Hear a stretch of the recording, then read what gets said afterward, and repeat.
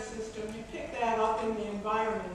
So if you have the ability to run faster or better, that doesn't give you the ability to extract significance in a culture. It, it doesn't give you that much advantage. So if they're hanging, that's right, they're hanging everything on the gene today, and and it really negates trying to design a society to improve everyone, to give everybody the ability to be creative. You know, it, it, it diverts where the problem really is. Is that, yeah, it's just crap. The geneticists, by the way, are sincere people, but they think it's all in the genes. Actually, all you inherit parents may be the color of the eye, the shape of the nose, the color of the skin, but you don't inherit values. You don't inherit bigotry and prejudice, as Roxanne pointed out. That's learned. But we know of no human being that inherited. They used to think that a Chinese baby can learn Chinese faster than an English baby because of generations speaking Chinese. So they took an English baby and Chinese, they both learned the same way. So you can't pass on learned uh, ability to your kid, but you can pass on a propensity toward liver disease or heart disease, that can be passed on through the genes. But you can't pass on knowledge, values, or concepts of social arrangements. That you have to learn. That's why I say I make more mistakes than anybody I know. I also say I've never made a mistake in my life. Now what that means.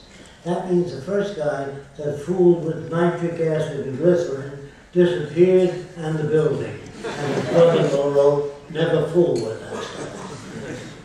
What do you think? Where do you think people get ideas from? There are no answers. If a man makes wings that are too small and jumps off a hill, he may die. That's the way the other guy learns to make the wings. You don't, you only learn through pain. Dr. Ehrlich did 606 experiments before he could control syphilis. Edison, 7,000 different elements before he found one that didn't burn out. But if you show kids movies of guys like Leonardo da Vinci, and they say he was so far ahead of his time, they never show you who he associated with. The friends of Leonardo da Vinci talk of gears and levers. You never heard of that. No one can jump way ahead of his society. Then there's Nostradamus. Now, Nostradamus was always wanted by the French police for fraud. Did you know that? And the people that translated Nostradamus left that out. It wouldn't sell. Then a guy named Frank Scully wrote a book called Behind the Flying Saucers. And they hired me to look at the evidence. So this guy said he was picked up by a flying saucer, taken around the universe, and brought back. So I said, what was the ins- inside of the flying saucer like? It was a big leather belt that held him in place. Anybody that can fly a hundred million light years through space doesn't need a leather belt. then he said there was a lot of blinking lights. Let's see if I can point this out. In an airplane, they have an instrument that moves and says your fuel mixture is too rich. So the pilot adjusts the fuel mixture. In the future, when the needle touches that, it will change the fuel mixture. You don't need blinking lights. You know, an advanced civilization doesn't have somebody talking on the radio like that. It doesn't have anything like that. And the flying saucer, the big one that you have, most of you have seen, has three spheres underneath it and portholes. And that was a 1927 chicken brooder, Sears Roebuck. So all the flying saucers that I have seen, that people photographed, were out of scale with the trees in the background. They're only this size. They said they were 500 feet in diameter, you know. So I have a way of checking those things. So I told Frank Scully, so far I haven't met anybody. So he said, have you ever met Dr. G? I said, I never heard of him. He said he was at Wright Field and he took the flying saucers apart. Now I was at Wright Field during the war making safety devices only. So I met Dr. G and I said, Dr. G, is it true that you couldn't drill through it and machine cut it with anything? He said, yes. He says, I've taken a lot of them apart. And how did you do that if you couldn't drill them, saw them, cut them? He said, well, I use a new method. They went together like a jigsaw. So I said, do you happen to have a piece of slice? He said, yes, in my car. I said, wonderful, bring it in. I'm not closed on it. So I brought in a piece of material that he said we couldn't drill through. It was transparent. It looked like lucite or plexiglass to me. And that doesn't mean I'm right. So I asked Mrs. Scully, can I use your oven? Nine times it and not. Gave it back to the guy. And he says, I must have brought the wrong material. Maybe he did. So I said, can you bring the right material next week? And there was a whole gathering at Scully's home.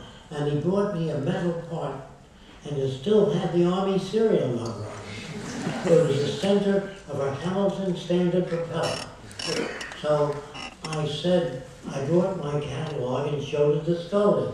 He said, Jacque, if I put your stuff in a book, it won't sell. The same with Nostradamus. Get the French book called Nostradamus. You'll see what the real guy was like. The translation was not like that. Don't take my word for anything. I'll tell you where to get the information. Yes, Yeah. you have your hand up?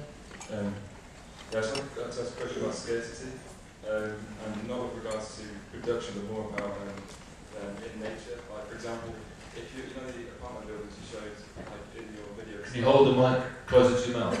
Sorry. Um, if you know the uh, apartment buildings you showed at the start in your video, well, if a lot of people, if the most desirable one is the penthouse apartment, you know, that's essentially uh, a scarcity right there. And if the apartment's built in like in the most desirable part of the country, let's say, you know, who who decides who gets it? There's scarcity right there. So you can have abundance in terms of food and, and production, and all these things, but there's still scarcity that exists in nature because you know we've got limited space. You're talking about the present day system. You see, have you seen our, About your house is the, the uppermost apartment would be the penthouse and more desirable place to live. okay. yeah, I mean, So instead of making pair, square buildings, if you do that, most people want the corner apartment where the view is better. So we make our buildings round, so the view is present for everybody, and some of the buildings turn. yeah, but you could argue that. In that other words, what you try to do is educate people and give them whatever they want in their home. In other words, we only design the exterior, you pick the interior. Now, here's how you pick a home in the future, so you'll understand. In the Venus Project design, you sit in front of a plastic bowl, about three feet in diameter, and you talk. You say, I want a home. The bubble is the architect. It says, what kind of home? Most normal people are not sure. So different homes in Turner. Until you say stop, something like that, then she says, I'd like the children's room next to the adult bedroom, and it moves as you talk. And your husband or your boyfriend says, uh, I'd like a balcony sticking out over the pool. And the machine says, how far? And you say, eight feet. And the machine says, if you go 12, you can have a dining area. It doesn't override you, it merely suggests. The machines are subject to the will of people. They don't override anybody. They just say, if your bumper is this high on the car and you have sonar in front of your car, you can't hit another car. Now, if you make the car of the memory metal and you dent the fender, you press straight again and the fender goes back out. Who will hate you? The people that straighten out fenders. There's not a thing you can design and stand for that someone won't hate you for, no matter what. Yes. Somebody Um? I was just wondering whether your concerns about the, the planet and uh, the resource-based economy um, ties in with what scientists are saying now about our planet and the way it's moving and climate change and the fact that resources are running out at a faster rate